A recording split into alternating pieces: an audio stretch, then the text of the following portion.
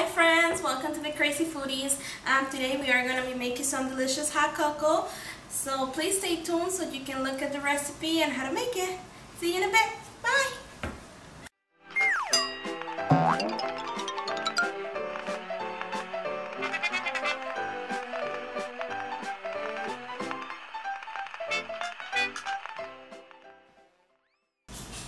Okay guys, so I have all uh, my ingredients right here. So let's start.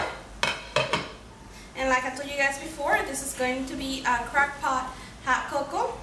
So let's start with our very first ingredient.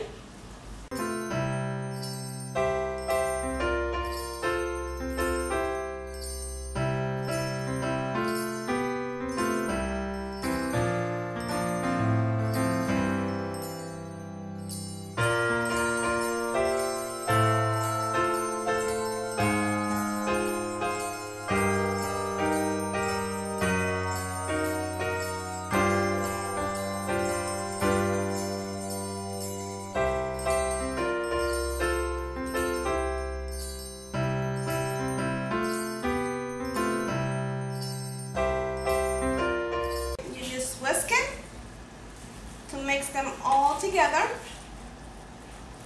And we are going to plug this up for two hours. We're going to move it from time to time just to make sure all the chocolate chips are melted.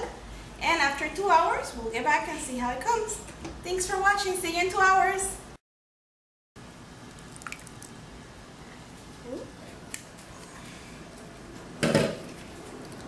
Okay guys, so this is our finished product.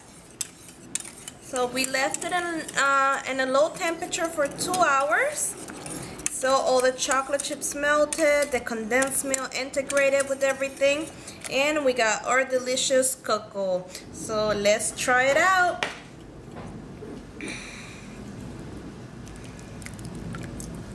Got all our hot cocoa in our cup, and this is optional. You can just drink it like that if you wish. I love whipped cream, so I'm gonna put some whipped cream on mine, make it all pretty. You can garnish it with a couple of chocolate chips and a touch of cinnamon if you like cinnamon. So,